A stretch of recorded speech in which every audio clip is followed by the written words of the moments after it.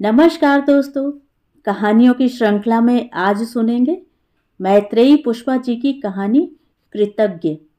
लेकिन उससे पहले मेरा आपसे विनम्र अनुरोध है कि अगर मेरे द्वारा सुनाई हुई कहानियाँ आपको अच्छी लगती हैं तो मेरे चैनल को सब्सक्राइब ज़रूर करें, लाइक करें और अपने दोस्तों और परिचितों में शेयर भी करें।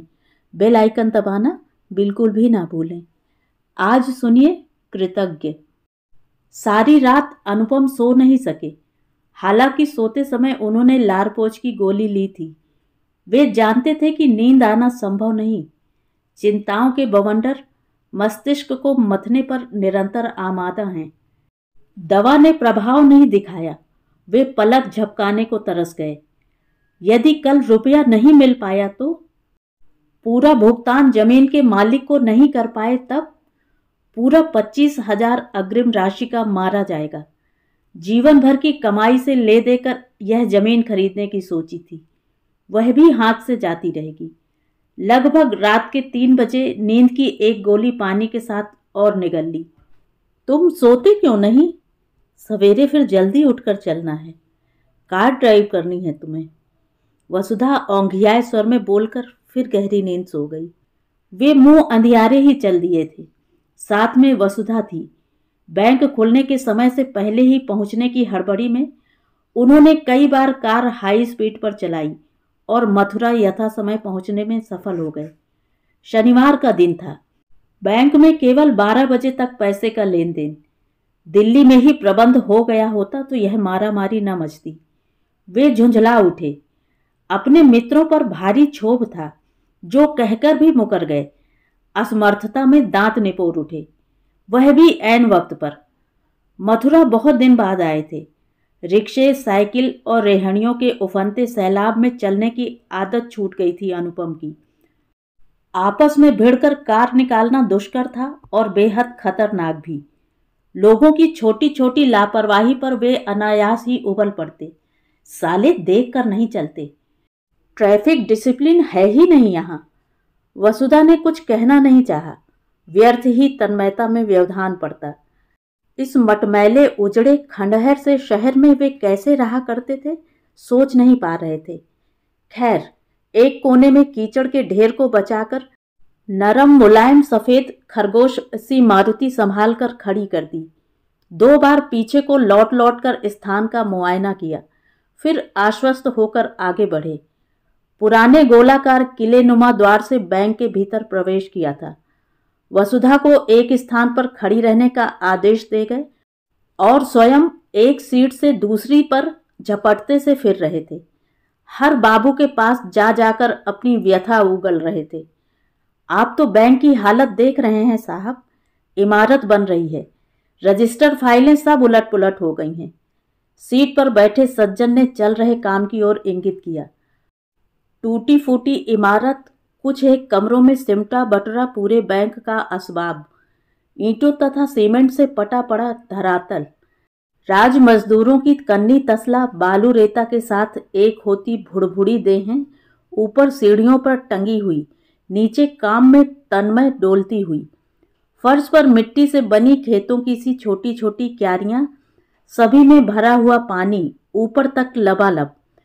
उसी गंगा में जूते भिगोते ही तो वे वसुधा के साथ अंदर पहुँचे थे। सब देख सुनकर उनका चेहरा उतर गया। क्लर्क तरस खाने लगा। ऐसा करो, उन साहब से मिल लो। शायद आपका काम आज ही हो जाए। वे लपक कर उस सीट पर पहुँचे।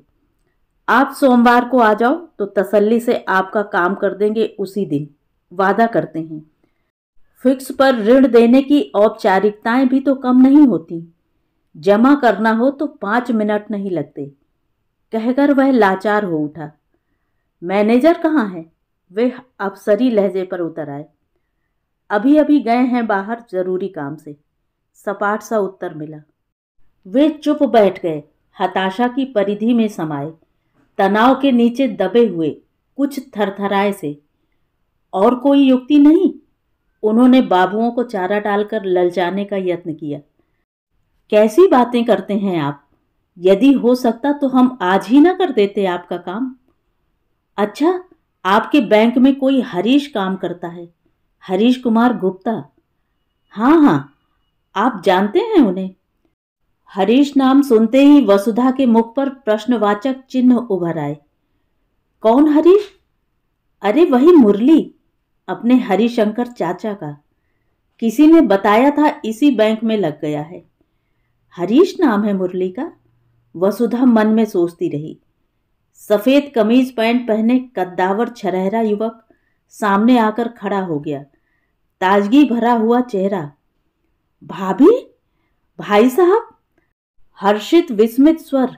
वसुधा को तुरंत पहचान गया वह। पांवों पर झुककर उसकी आँखें आह्लादी भाव से चमक उठी। गुप्ता जी, ये बेचारे बड़ी देर से आए बैठे हैं। ऋण लेना है आज ही। बैंक की यह हालत। हरीश का सहयोगी उसे पूरी स्थिति समझा रहा था। महज संयोग था कि मुरली उसी बैंक में मिल गया, देवदूत की तरह। निस्सीम मरुस्थल में स्वच्छ, शीतल, प्रपात सा। अनुपम को आरामदेह कुर्सी देकर आत्मीय वरिष्ठ स्वजन की तरह बैठा गया। भाभी के लिए स्वयं कुर्सी खोज कर डाल गया। चपरासी से बीच बीच में कोल्ड ड्रिंक्स चाय कुछ खाने को लाने के लिए कह गया स्वयं उस सीमित पलक झपकते समय में रजिस्टरों की खोज करता पसीने में नहाता रहा। फॉर्म भरकर संबंधित लोगों के हस्ताक्षर कराने को मिन्नतें करता, रिरियाता एक से दूसरे पर भागता रहा। कमीज भीग कर पूरी पीठ से चिपक गई थी। हुमस भरी दमघोटू गर्मी में माथे पर पसीने की धार अबाध गति से बहती रही। कभी यहाँ, कभी वहाँ वसुधा उसे मुँह सुखाए, दौड़ते भागते देखती रही। किस लिए ऐसी जी तोड़ मेहनत और किस लिए अपने बूते से बाहर की पुरजोर कोशिश? किस बात का प्रतिदान कर रहा है यह? बरसों पहले जब वह हमारे यहाँ आया था, भयंकर शीतलहर थी। ओले गिरने के बाद की सनसनाती तेज हवा, कपड़ों के मोटे लबादों के बीच से शरीर छेदती हुई। नौ दस बजे तक सूरज नहीं दिखता था। घड़ी दो घड़ी को उदय भी होता तो ठंडा पीला कमज़ोर सा अस्तित्व विहीन चारों ओर धुंध की चादर से ढका निस्सीम संसार। कोई पाखी पखेरु न दिखता था। आदमी सड़क पर चलते बौने से हो उठते ठंड से सिकुड़े हुए। अखबार में छपा था, पिछले पचास वर्षों में ऐसा शीत नहीं पड़ा। ऐसी ठिठुरती सुबह के धुंधलके में द्वार पर दस्तक हुई। बहुत हल्की, शालीन। उसके ठीक पश्चात घंटी का अनायास नन्हा सा स्वर, जैसे किसी का हाथ अनजाने ही स्विच बटन पर धर गया हो। भ्रम हुआ कि सचमुच द्वार पर कोई है या यूँ ही? वसुधा ने शॉल चारों ओर से कसकर लपेट ली। फिर भी सीधी खड़ी होने में देह साथ नहीं दे रही थी। सिकुड़ी सिमटी दरवाज़ा खोलने चल दी। किवाणों के दोनों पल्लों के बीच खड़ी वह आगंतुक को कुछ पल देखती रही निर्निमेश। अपलक, चिन्हने का भरसक प्रयत्न। पहचान मज़बूत थी। मुरली हो ना? उसने सिर हिलाकर स्वीकृत दी। मैंने तुम्हें बच्चा देखा है, छोटा सा, तुम्हारे बचपन में। भाभी? कहता हुआ वह वसुधा के पाँव में झुक आया। उसके होठों का रंग ठंड के कारण गहरा जामुनी हो गया था। बोलते समय दांत स्पष्ट किटकिटाहट में बजने लगे। बेनाप लंबा सा रेतीले रंग का जीर्ण स्वेटर जगह जगह से छेददार। बालों में भोर के गीले कुहासे की धुंधवाई सफेदी, महीन बर्फ़ की दानेदार परत सी। रह रहकर प्रकंपन की ठंडी फुरफुरी उठ रही थी उसके शरीर में। चौदह पंद्रह वर्ष का वह किशोर बालक, बड़ों के से गांधीर्य में सिमटा, प्रौढ़त्व के भार से दबा सा। अंदर आ जाओ। वसुधा के मन की ममता छलक पड़ी। वह ठिठका ही रहा सहमे शश शावक सा। आ जाओ ना। दृढ़ आग्रह पर वह सुगबुगा उठा। गीले रेत मिट्टी में सने लिसड़े हुए सैंडल संकोचमयी स्थिति में डूबा बाहर ही खोलने लगा। झिझके हुए नत नेत्रों से फर्श को टटोलता वह अंदर के कमरे में सरक आया। वसुधा ने हाथ से बैठने का संकेत किया। वह पल भर सोफे के पास पड़ी कुर्सी को घूरता रहा। दूसरी बार हुक्म पाकर सिकुड़कर बैठ गया। कैसे आए मुरली? साधारण सा प्रश्न था, मगर आत्मीयता भरी अनुगूंज से सराबोर हुआ। वह मुख पर घिर आए संकोची भावों से पल भर को मुक्त हुआ। सहज भाव से कुर्सी के हथे पर अपनी ठिठुरी हथेलियाँ फेरता रहा। अच्छा मैं तुम्हारे लिए चाय लेकर आती हूँ, फिर बातें होंगी। वसुधा मथुरा में छूटे अतीत से जुड़ने की हिलोरमयी उत्फुल्लता में जल्दी जल्दी पाँव बढ़ाने लगी। वह रसोई घर की ओर मुड़ी ही थी कि भाभी सहसा मुरली का भर्राया स्वर गूंजा। वह पलट पड़ी। भाभी, बाबूजी, आवाज़ अधिक भारी हो उठी अवरुद्ध कंठ में भिंची हुई सी। क्या हुआ बाबूजी को?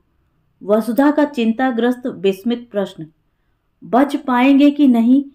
उन्हीं को लेकर तो कहते कहते उसकी आँखें तरल हो आईं। घनी पलकों के बीच से मोती सी सफ़ेद बूंदें पानीदार राह बनाती हुई कपोलों पर ढुलकने लगी। मुरली, सांत्वना भरी हथेली का उष्म आत्मीय स्पर्श पीठ पर महसूसते ही उसके भीतर के धीरज की दीवार यकायक ढह गई। वह जार जार रो उठा। बरसों का अंतराल पल भर में पिघलकर वसुधा को बच्चे से जोड़ उठा। कहाँ है बाबूजी? यहीं मेडिकल इंस्टीट्यूट के बाहर। गहरी हिचकी के बावजूद वह वाक्य के टूटते खंडों को जोड़ने का प्रयास कर रहा था। अकेले? नहीं, साथ में माँ है। उसने हथेलियों से आँसू पोंछ लिए। नाक लाल थी जुखाम जैसा हो आया। करुणा में समाई वसुधा चाय का प्याला उसके हाथ में थमाकर अपने बेडरूम की ओर दौड़ सी गई, जहाँ अनुपम रजाई में दुब के अखबार देख रहे थे। ब्लोवर गर्म हवा फेंक रहा था निरंतर। कमरे का तापमान बाहर की अपेक्षा आरामदेह था। सुन्न हाथ पाँव में चेतना का आभास कराने में सक्षम। कौन है? अनुपम के चेहरे पर जिज्ञासा फैल गई। मुरली है अनुपम? कहते कहते वसुधा का मन भर आया। करुणा उमड़ने लगी। कौन मुरली? प्रश्नात्मक स्थिति में उलझे अनुपम की भवों के बीच की जगह सिकुड़कर छोटी हो गई। वे ही मुरली? अरे वे, जो मथुरा में अपने पड़ोस में रहते थे। मीरा के छोटे भाई। इतने सवेरे? असमय किसी के घर का द्वार खटखटाने की धृष्टता पर अनुपम के मुख पर क्रोध मिश्रित अचरज की तीखी रेखा खींच गई। वे फिर अखबार के भीतर सिमट गए। देश विदेश की खबरों को आत्मसात करते हुए। परेशान हैं बेचारे। उनके बाबूजी बिकट बीमार हैं, अनुपम। यही मेडिकल में बिठा आए हैं। अनुपम ने तनिक देर को अखबार से सिर निकाला और फिर यथावत समाचारों में तन्मय हो गए। साथ में चाची जी आई हैं। वह अनुपम द्वारा बिछाई गई उपेक्षा को फलांग कर अपनी रौ में बही चली जा रही थी। अनुपम ने अखबार के पीछे से सहसा चेहरा उठाकर उसके आगे तान दिया। आँखों में गहरे सोच की झाइयाँ मडराने लगी। उन्हें उसी मुद्रा में छोड़ वह उठ आई, दुश्चिंता में डूबे उस बालक के पास। भाभी, भाई साहब तनिक मेरे साथ। अधूरा वाक छोड़ वह आशा एवं आतुरता से उसे निहारने लगा। बुझी आँखें चमक आईं। वसुधा फिर उल्टे पाँव अनुपम के पास लौट गई। अनुपम, तुम जल्दी से तैयार हो जाओ ना। अखबार फिर पढ़ लेना। मुरली के साथ जरा अस्पताल तक। तुम तो सब डॉक्टरों को जानते हो। थोड़ी सहूलियत। पति से अधिकार पूर्वक कहकर स्वयं रसोई में चली गई। बेचारे भूखे प्यासे, सर्दी में ठिठुरते। हाय राम। सोचकर महरी को बर्तनों से हटाकर हाथ धोकर आटा गूंदने का आदेश दे डाला और स्वयं सब्ज़ी काटने में लग गई। ड्राइंग रूम में वसुधा की निगाह गई तो मुरली के पास सामने ही गाउन की जेबों में हाथ गरमाते अनुपम खड़े दिखाई दिए। वह तनिक आश्वस्त हुई। अनुपम कुशल मंगल आपत्ति विपत्ति की खबर लेंगे तो आत्मविश्वास बंधेगा बालक को। हम क्या कर सकते हैं भाई? करना तो डॉक्टर को ही है। अनुपम के सपाट बेलाग वाक सहानुभूति से अछूते। आलू की त्वचा छीलते वसुधा के हाथ सहसा थम गए। मैं चलता तेरे साथ।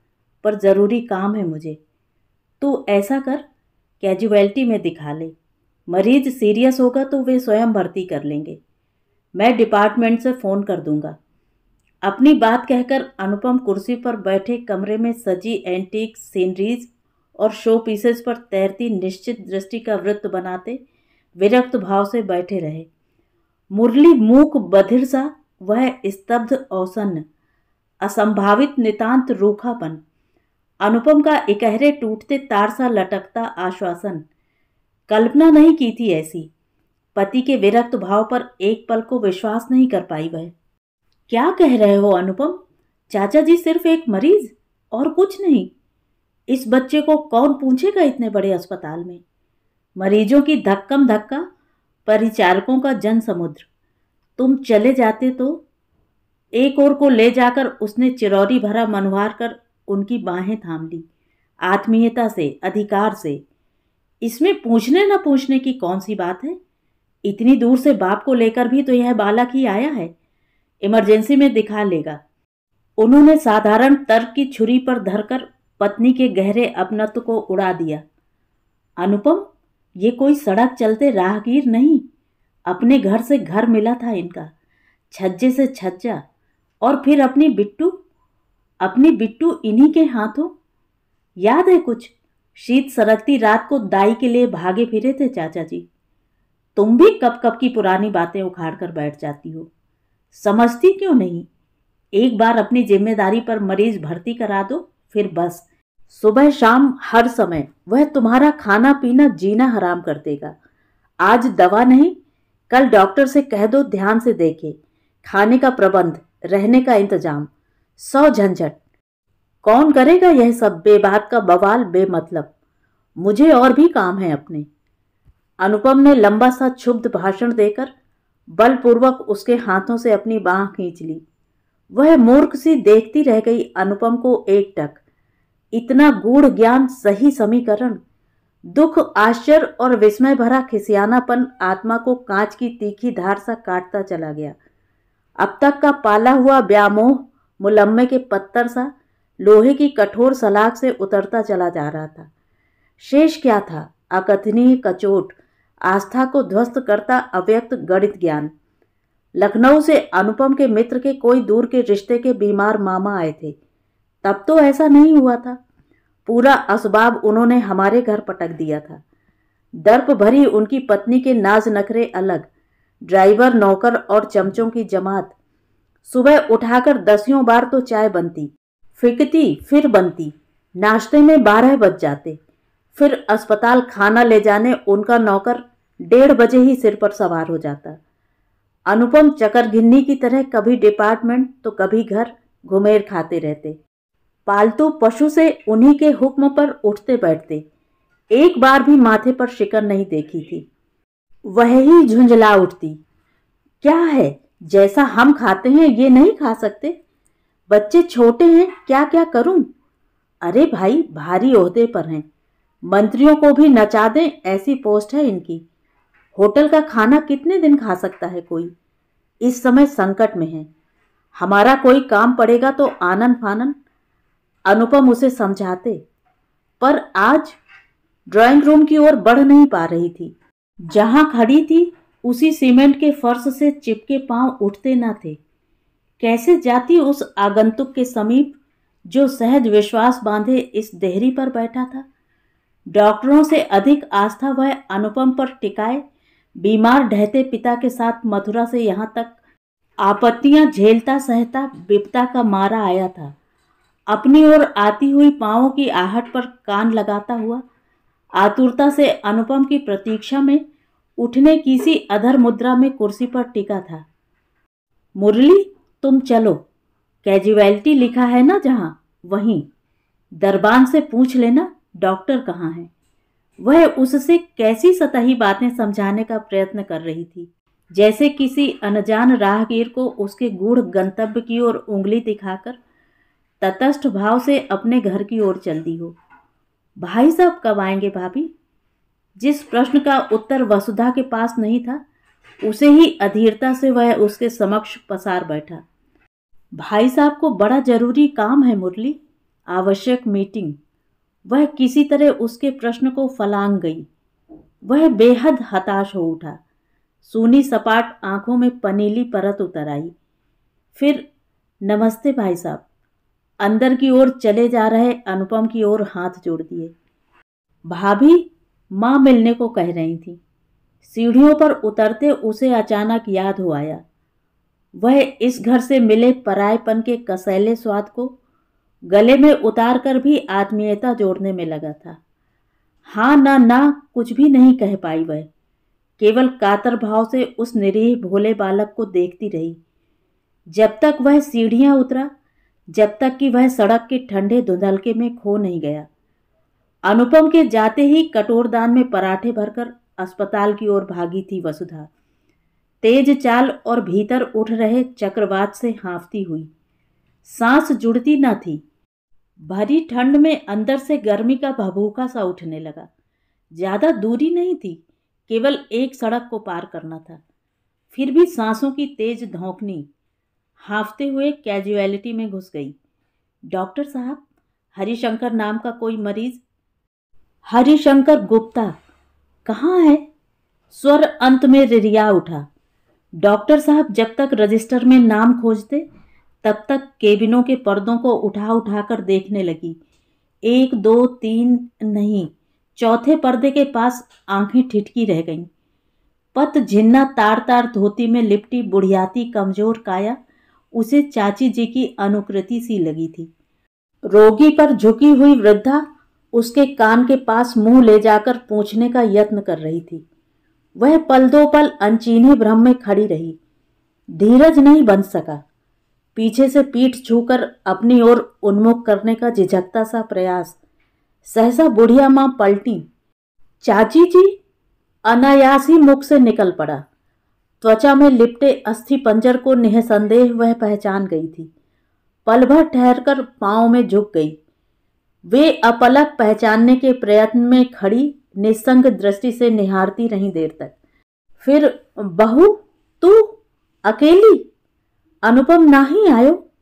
इतने सारे प्रश्नों का सुदृढ़ उत्तर वसुधा के पास था ही कहा? बस इतना ही? हाँ चाची जी, मैं। बहू, तेरे चाचा जी, वे उनकी ओर इंगित करके कपकपाते स्वर में रोने लगी, विकल वेदना से छटपटाती सी। क्या कहकर धीरज बंधाती वसुधा? सजल आँखों से कभी उन्हें देखती, कभी चाचा जी को। मोटी नसों के जाल में बंधे उनके हाथों को खड़ी खड़ी सहलाती रही। चाची जी, यह कटोरदान आगे कर दिया। जामे कहा है बहू? उनकी मध्यम सी आवाज़। ऐसे ही कुछ थोड़ा सा। खानो है? खानो तो हम घर से बनाए लाए हैं बहू। तू काहे को दिक्कत में परी बेटा? आर्द भाव झुरियों के बीच फैल गया।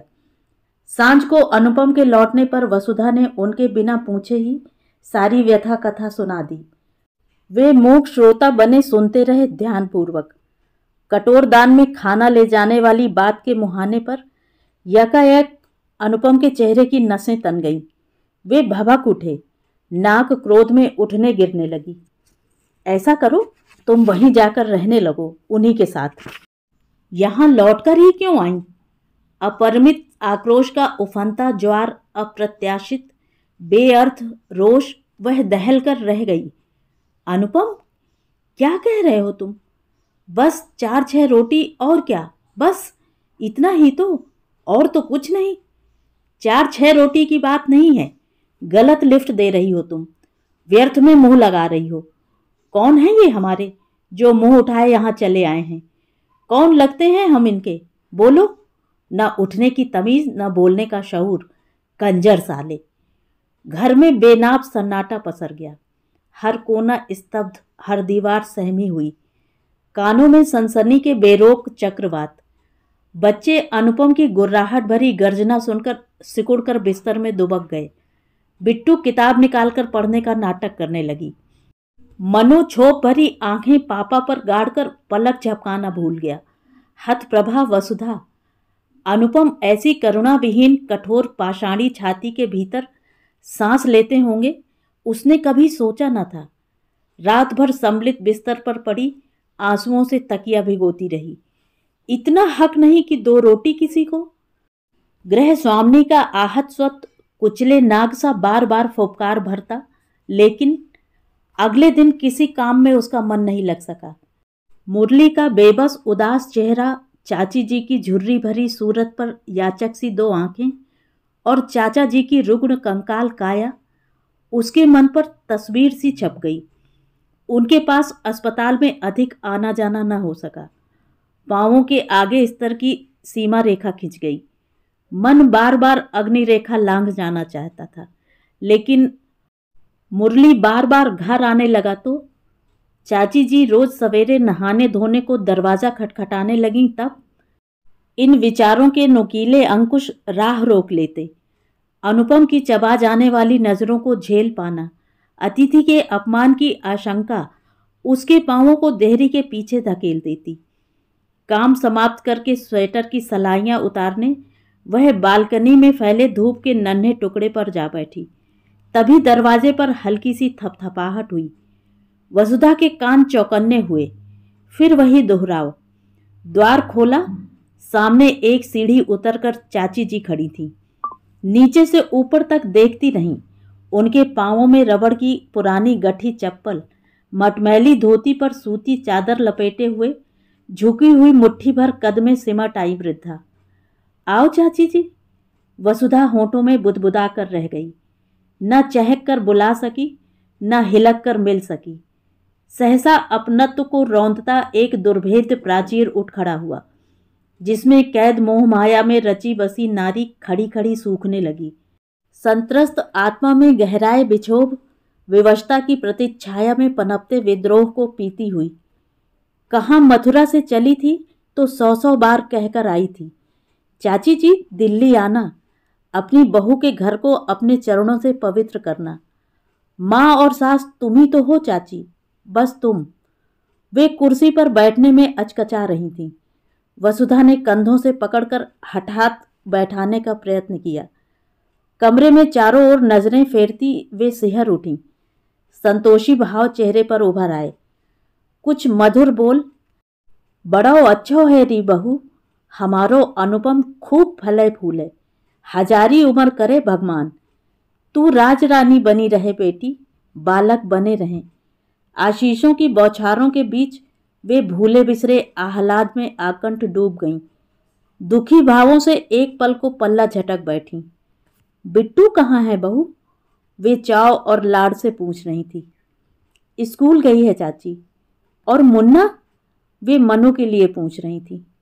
चाची, अब चाचा जी की तबीयत कैसी है? वसुधा ने बीच में ही उनकी बात काट दी। जय लिए आई हूँ बहू, तू कहाँ ढूंढेगी फिर? उन्होंने सलूका की जेब से एक पर्ची निकालकर उसके समक्ष रख दी। लिखाई मुरली की होगी। Ward D two, bed number छत्तीस, दूसरी मंजिल। चाय का गिलास थमाकर वह उनके पास ही बैठ गई। वे पति की बीमारी को लेकर दुखी बीच बीच में रोने लगती। मथुरा आगरे के सब अस्पताल छान मारे बहू। पर रोग की जड़ ना ही पकड़ पायो कोई। जाने मिट्टी कौन सी बिस्बेल शरीर में फैल गई है। मुरली अकेलो कहाँ कहाँ करे। जे तो महीनन से काम पे ना ही गए। मीरा को घर छोड़ के आई हूँ। सिलाई कटाई करके एक बखत की रोटी। कहते कहते उनकी हिलकी बंध गई। अंदर तक से टूट चुकी औरत को वस्तुतः तसल्ली देती रही। बेबात का धैर्य बंधाती रही। अनुपम के लौटने का समय हो चला था। अदृश्य धुकधुकी, चिंताकुल संभावनाएँ, वह चाची जी को विदा करने की हड़बड़ी में थी। बहू, जाए तू धर ले। वहाँ अस्पताल में कहाँ, कहूँ चोरी चकारी है जाए। उन्होंने पुरानी घिसी मैली सी जंजीर वसुधा के हाथ में धर दी। दवा दारू में का पतो कितने लगें। वे जंजीर की पूंजी पर आश्वस्त थीं। सीढ़ियाँ उतरते में उन्हें अनायास याद हो आया। बहू, एक भगौना होएगा? कोई कंडम सौ, पुरानो? वह दौड़कर रसोई से हैंडल वाला भगौना उठा लाई। जिसे देखकर वे तनिक सकुचा कर बोली, जी तो बहुत अच्छो है, खराब है जाएगा। कोई पुरानो जो तुम्हारे काम ना, आप ले तो जाओ। वसुधा बीच में ही बोल पड़ी। वह उन्हें दूर तक छोड़ आई सड़क पार तक। चाची जी कहा करती थी, मुरली की बहू तो न जाने कब आवेगी और कहा करेगी? वसुधा है मेरी बहू, मेरी बेटी सोचते हुए लौटने लगी। बच्चे आ चुके थे। मम्मी, पापा आप पर क्यों चिल्ला रहे थे? कौन थे वे जो सवेरे आए थे बिट्टू निरंतर पूछे जा रही थी। कोई उत्तर न देकर वह खाना गर्म करती रही। आप अस्पताल में उन्हें खाना देकर आई थी, मम्मी। अच्छा किया। वे भूखे होंगे ना? उनका घर यहाँ नहीं है ना? वह बच्ची का मुख देखती रह गई। यह तू कह रही है मेरी बच्ची? वसुधा ने बिट्टू का चेहरा हाथों में भरकर चूम लिया। पर अभी तू छोटी है बिट्टू, निरीह भोली। बड़ी होकर तू भी। उसके निश्वास बच्ची के गालों पर जलती ऊष्मा बिखेर गए। वसुधा का मन न माना था। पाँव उसी ओर बढ़ गए। सड़क के किनारे खड़ी थी। आता जाता ट्रैफ़िक, उफ! कारों बसों की सीधी सांप सी कतार बेअंत।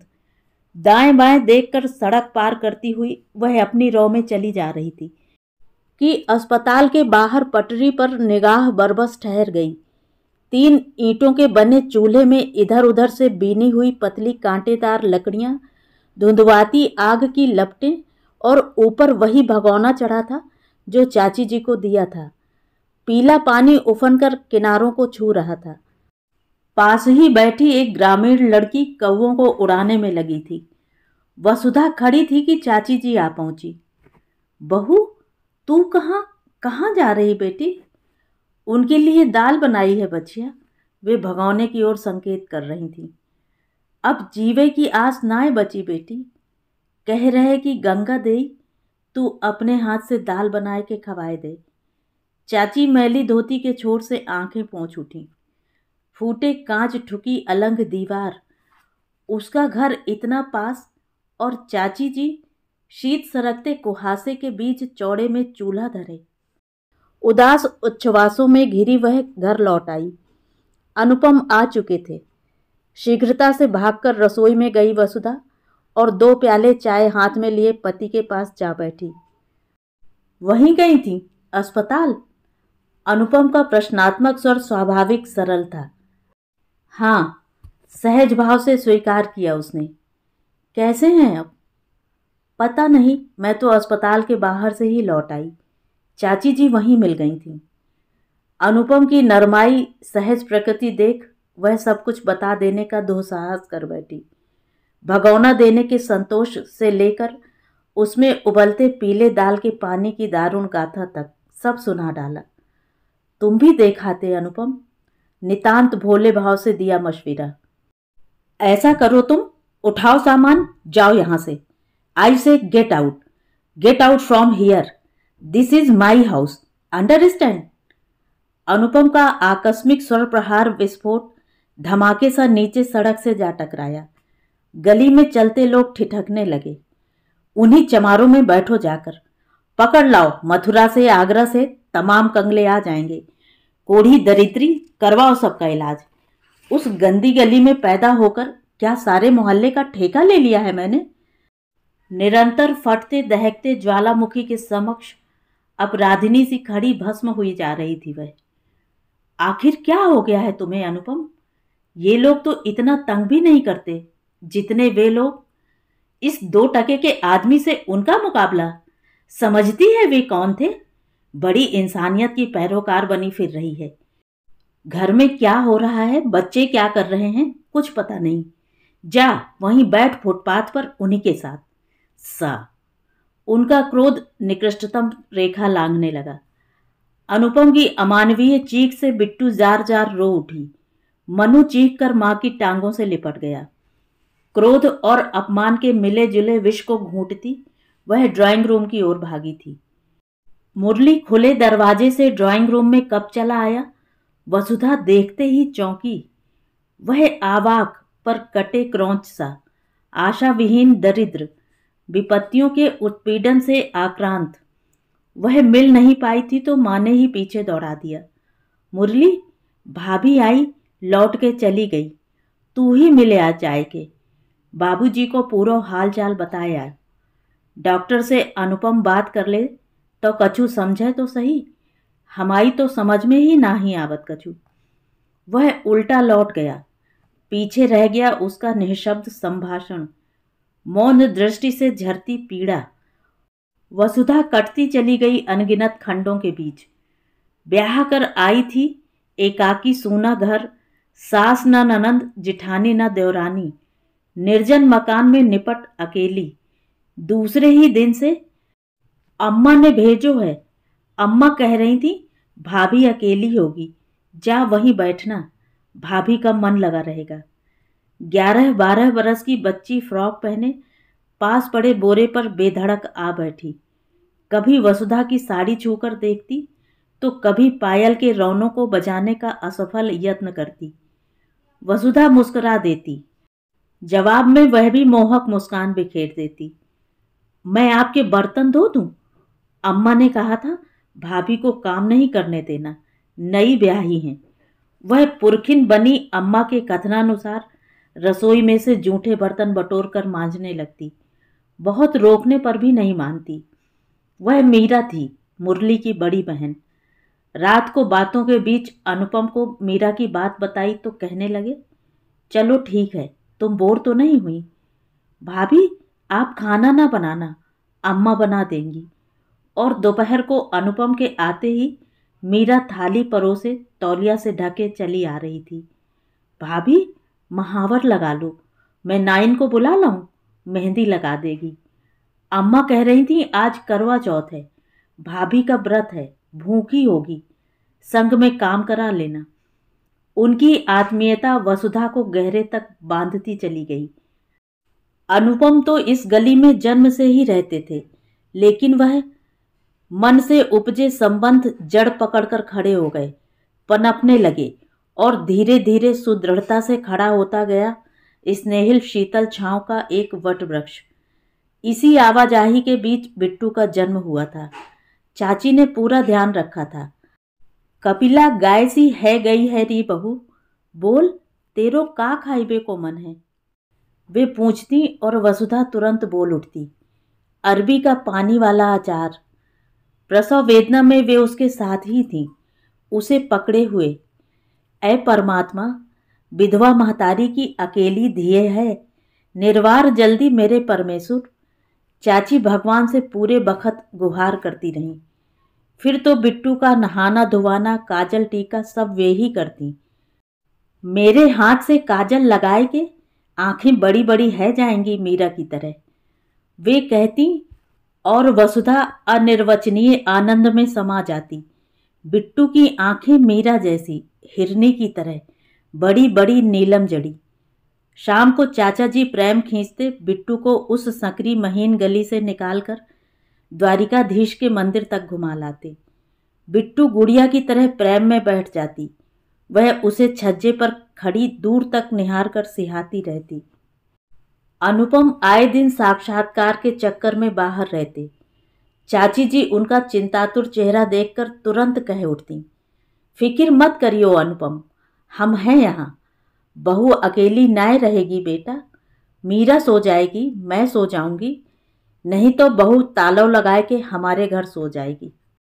अनुपम कभी मीरा के लिए सूट का कपड़ा ला देते, कभी चाची को इकलाई किनारी की धोती। मुरली तो जब करेगो तब।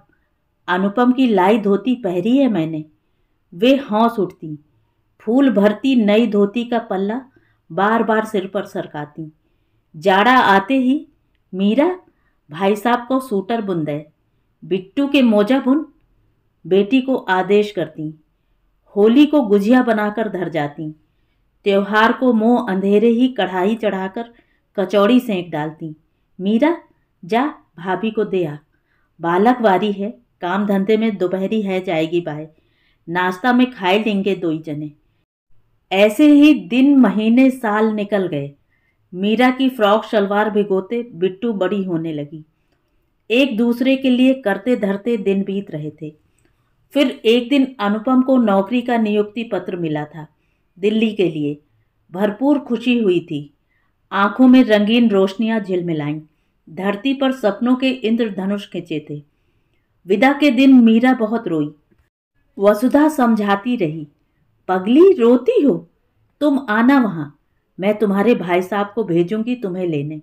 फिर देखना चिड़ियाघर, लाल किला, कुतुब मीनार। अब हंस तो चलो। चाची ने खाने का कटोरदान संग में बांधा। नाश्ते के लिए मठरी लड्डू बनाए। लारी बहू आटा और घी, वहाँ कहाँ जाते ही नाश्ता पानी में उड़ जाएगी। चलते समय बिट्टू को चूमा, उसका हाथ थुक थुकाया, नज़र उतारी। रिक्शा पर बैठने से पहले वसुधा को छाती से लगाकर खूब रोई। वह भी रो रो कर उनका कंधा गीला करती रही। आसपास की औरतें आँखें पोंछती जुड़ आईं। वह बहू की विदा थी। विदा वेला का वह दिन और आज का मुहूर्त। संबंधों के वट वृक्ष को चबाती स्वार्थ सोच की अमर बेल। सहृदय संवेदना को चूंटता महानगर का विशैला दूषित प्रभाव और आपाधापी की निस्सीम दौड़ का सतत संयोजन। कब अनुपम के मन को रेतीला रेगिस्तान कर गया, पता ही ना चला। क्या कुछ नहीं थे वे लोग हमारे। अनुपम से किस तरह पूछती? घर में मचे विप्लव के डर से अर्धांगिनी ने उसी तरह अधर भींच लिए, जिस तरह पति की भित्त भेदी गर्जना पर बाहर के द्वार बंद करती फिरी थी। चाचा जी की दशा तो गंभीरतर होती जा रही थी। मुरली फिर चार पाँच दिन नहीं आया। वह निस्सहाय, न जाने कैसे वृद्धा माँ के साथ फटी बरसाती मोम जामा की छत तान कर, कड़कड़ाती ठंड में फुटपाथ पर प्राणों को गलाता रहा होगा। कभी अधमरी हुई माँ पिता के साथ रहती होगी? कभी भीषण संकट के दलदल में फंसा मुरली। वसुधा ऐसे ही कल्पना कर लेती। बस ऐसे ही एक दिन करुण अंत ने अपना पंजा फैलाया तो मुरली बेबस लाचार, फिर उस घर की सीढ़ियाँ चढ़ता हुआ रात के समय दरवाजे पर आ खड़ा हुआ। आँखों में आंसुओं का लबालब तालसा बन गया था। होंठ फटकर कौर कौर थे। सूखी पपड़ी के नीचे खून रिसने से बनी गहरी लाल धारियाँ। कोहनी और घुटनों पर तार तार वस्त्रों में बड़े बड़े गोलाकार छेद। किसी भिकमंगे से बुरी दशा। दीन मलिन शोक संतप्त। कच्ची गदराई उम्र में पाले के मारक प्रहार से उजड़ता सा। बस खुरदुरी कलाई पर घड़ी अवश्य बंधी थी। भाई साहब, बाबूजी जा रहे हैं। आखिरी समय है। एक बार बस एक वह अनुपम के समक्ष घिघिया उठा। जो होना है होकर रहेगा। हमारे जाने से ही क्या हो जाएगा मुरली? अनुपम ने ना जाने क्यों उस विछत हृदय से जवाब मांगा। शाश्वत सत्य के उपदेश तले दाब दिया उसे। कुछ नहीं भाई साहब, बस हमारी हिम्मत माँ को आपसे वह आगे प्रयत्न करने पर भी नहीं बोल सका। वसुधा अंदर जाकर झटपट चाची जी की जंजीर हाथों के बीच दबा लाई और मुरली की कमीज की जेब में डाल दी। यह तुम्हारी? मुरली, तुम चलो, हम आते हैं। वसुधा अनुपम के कुछ कहने के पहले ही बोल पड़ी। अपनी वज्र देहरी से उसे हटा देने की चेष्टा में जुटी थी वह। ऐसी नरम स्थिति में पाषाण शिला पर माथा पटकने का क्या अर्थ? मुरली के जाने के बाद आखिरी समय है, अनुपम। चलो, कुछ घट नहीं जाएगा हमारा। अब वे जीवित ही कहाँ रहेंगे, जो तुम्हें परेशानी देते रहें? पति को पिघला देने का अंतिम प्रयास कर रही थी। चल रहा हूँ। अनुपम का शीघ्रता भरा निर्विकार स्वर। वसुधा और अनुपम लिफ्ट की प्रतीक्षा किए बिना ही दो मंजिल ऊँची सीढ़ियाँ चढ़ते चले गए। देखो, आँखें खोलो। अनुपम आए गयो बहु ठाड़ी है। देखो तो सही। तुम कहते रहे कि अनुपम के पास लेके चलो। वो ही मेरा इलाज करवाए देगो। देखी तो ले हुए एक बेर। चाची ने लंबी साँसें भरते चाचा जी का चेहरा हिलाया डुलाया। अनुपम गद्दे के नीचे से निकालकर केस शीट देखने लगे। पलकें खुली। दो बूंद पानी आँखों की कोरों से इधर उधर ढलक गया। ना अधरों में कोई प्रस्फुटन न हाथ पांवों में कोई गति। ऑक्सीजन मास्क से साँसें दी जा रही थीं। मुरली सिर झुकाए खड़ा रहा। चाची धीमे धीमे सुबकती रही। थोड़ी देर रुककर दोनों चले आए। वसुधा रात भर जागती रही। गहरी नींद में सोए अनुपम को बीच बीच में हिला देती। मगर वे ठंडक के कारण रजाई में लपेटकर खर्राटे भरने लगते। अब तक तो खत्म हो गए होंगे। अनायास ही अनुपम कहे उठे। फिर चाय का प्याला तिपाई पर टिकाकर अखबार देखने लगे। उसे लगा कि झचकोर कर कहे कि चलो, वह अकेला बालक, लेकिन अंतर में समाया भय, प्रताड़ना का संतरास उसे जड़ करता रहा। डिपार्टमेंट जाते समय होता जाऊँगा। अनुपम का यह वाक्य सुनकर भी वह गूँगी बहरी बनी रही। घर रीता होते ही वह भागी थी। Ward D two, bed number छत्तीस। पता लगा चाचा जी रात ही डेड बॉडी मॉर्चुरी में रखी है। हड़बड़ाती सबसे नीचे की मंजिल मॉर्चुरी में पहुँची। ले गए वे लोग डेड बॉडी। उत्तर मिला तो खड़ी की खड़ी रह गई। निष्प्राण सी, स्तब्ध, सुन्न। अस्पताल के मुख्य द्वार पर खड़ी रही। इधर उधर ताकती, कहीं मुरली, कहीं चाची जी, पर कोई नहीं मिला। वही ग्रामीण बच्ची जो उस दिन दाल के भगोने के पास बैठी कौवे उड़ा रही थी, दौड़कर समीप चली आई। लाश ले गए मुरली भैया। टैक्सी के पैसा नहीं हते तो हमारे बापू के संग जाके अपनी घड़ी बेची और अम्मा जी की जंजीर, यहीं यूसुफ सराय में। अकबक औसन वह खड़ी रही देर तक। बौराई बावरी सी, फटी आँखें शून्य में गाड़े फिर भारी बोझिल कदम घर की ओर धरने लगी। आज न दाएँ देखा, न बाएँ। ना जाने कैसे सड़क पार करती चली आई। कुछ तुड़े मुड़े नोट हथेली के बीच दबे पसीजते रहे। और आज बरसों बाद यहाँ अचानक भर्राता हुआ स्कूटर बैंक के अहाते में घुसा। हड़बड़ाहट में वसुधा की तंद्रा टूटी। वह दूर तक भौचक सी देखती रही इधर उधर जैसे कोई दो दुस्वप्न देखकर जागी हो। कुछ देर में समझ आया कि वह बैंक में बैठी है। मुरली मैनेजर को साथ ले आया वसुधा। उसके कंधे पर हाथ धरे अनुपम का आह्लादी स्वर चहका। आनंद फानन सारा काम हो गया। रुपए गिनकर अनुपम ने बड़े जतन से बैग में धर लिए। मुरली ने उबार लिया अनुपम को। गहन चिंताओं के अतल अथाह सागर से पल पल बढ़ते झंझावाती रक्तचाप के उच्च ज्वार से और डूबती हुई धनराशि पर निकलते विकल प्राणों से। मुरली असीम उत्साह भरे अतिरेकी स्वर में कहे जा रहा था, भाई साहब, रास्ते में घर रुका था। माँ खाना बना रही हैं आपके लिए। मगर अब इतना समय कहाँ है? अनुपम ने निराधार बहाना खोजा। वे अजब सी अव्यक्त स्थिति में थे। जैसे आत्मा की गिरावट के ठूंठ में वन उगाए हों, और वे उससे निकलने के दुर्लभ प्रयासों को टटोलते असमर्थ निस्सहाय हाँफने लगे हों। मैंने कहा, माँ से, मगर वे मानी कहाँ? कह रही थी, बहू आई है, ऐसे ही बिना खाए पिए चली जाएगी। फिर वही गलियाँ, वही रास्ते बेहद संकरे, दीवार से दीवार जुड़ी हुई, छज्जे से छज्जे मिले हुए, और मकान से मकान रगड़ खाते हुए नुक्कड़ पर ही हलवाई चाचा मिल गए। अनुपम बाबू हैं का? कहते हुए लपक कर गह लिया अनुपम को। खड़े पीठ सहलाते रहे। बिल्कुल ही दिल्ली वासी होकर रह गए भैया। पल भर रोक कर पत्ते के दोने में मिठाई बांधी और मुरली को पकड़ा दी। अनुपम के साथ रख देना, बच्चे खा लेंगे। मुद्दत बाद उस घर में प्रवेश किया था। वही धुला पुछा ईंटों के खड़ंजे का आँगन लोहे की लंबी सलाखोंदार बड़े बड़े जंगले। चाची जी, वसुधा उनके पांवों पर झुकी।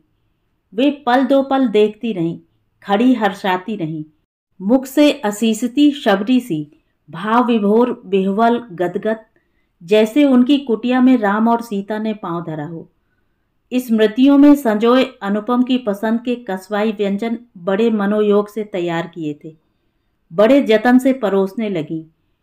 उनका किया सत्कार, वह कृतार्थ भाव। बहू, मीरा ब्याह भर देखत रही कि भाभी आवेगी। भाई साहब आवेंगे। रोबत रही बहुत तोए याद करके। कारण तो मिला होएगा। वसुधा निःशब्द। कंठ में बबूल की कांटों भरी सूखती टहनी अटक कर रह गई। अनुपम ने सौ का नोट पर्स से निकाला और चाची के हाथ पर धरने लगे। मीरा के लिए चाची। जब आए तब दे देना। डूबती आवाज़ महीन मध्यम हो चली। ना ही बेटा, मीरा जब मिलेगी तब दे दीजो। कहकर वे रुआसी हो आई। चलने की बेला तक आँखें गीली थी, बिलखने जैसी स्थिति। मुरली, दिल्ली आना। तुम तो आते ही नहीं हो यार। चाची को लिवा लाना। अनुपम के मुख से निकला वाक हकलाकर उनके होठों पर ही दम तोड़ने लगा। तो ये थी कहानी कहानी आपको कैसी लगी? कमेंट करके ज़रूर बताएँ।